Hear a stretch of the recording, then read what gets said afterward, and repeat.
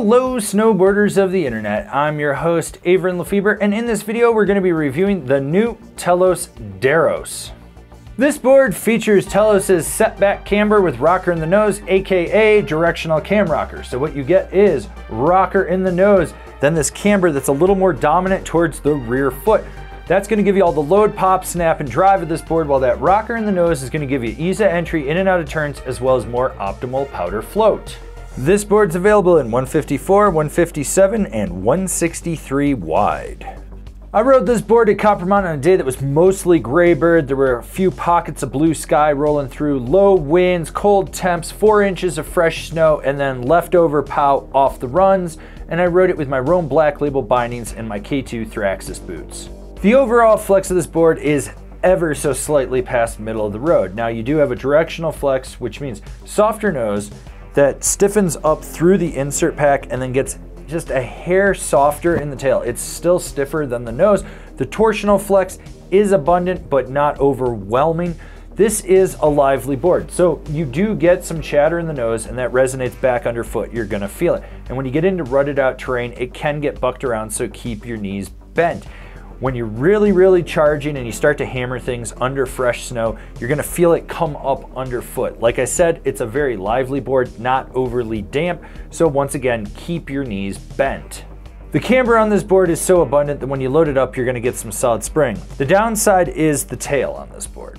Between the swallowtail and there is an ever so slight micro rocker in there, you can overload the tail and it just gets soggy. It does not want to pop as much as you would like it to. So you have to be a little more calculated and a little bit laid back with how you engage it because if you do, you're going to get more spring. But if you overload it, roll way out on it, you just end up pressing into it and it doesn't pop the way you would want.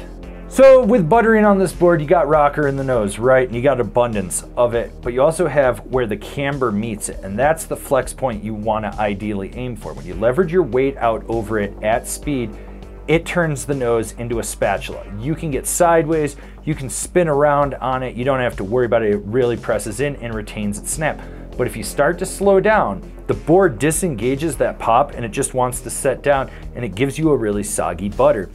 On the tail, it's high speed wheelies for days on that thing. You lean back and you're just gonna keep on going all the way through whatever is in your path. When it comes to carving, there's a consistency on this board that makes you feel like you've ridden it 100 days, whether it's your first day or your 100th day.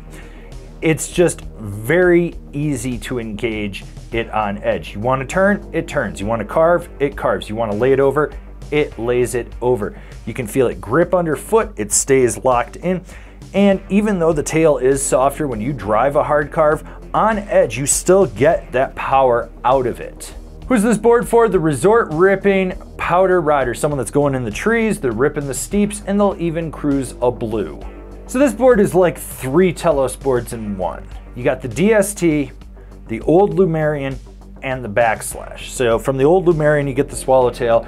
From the DST, you get the longer rocker in the nose, and then you kind of get the turning ability of the backslash in it.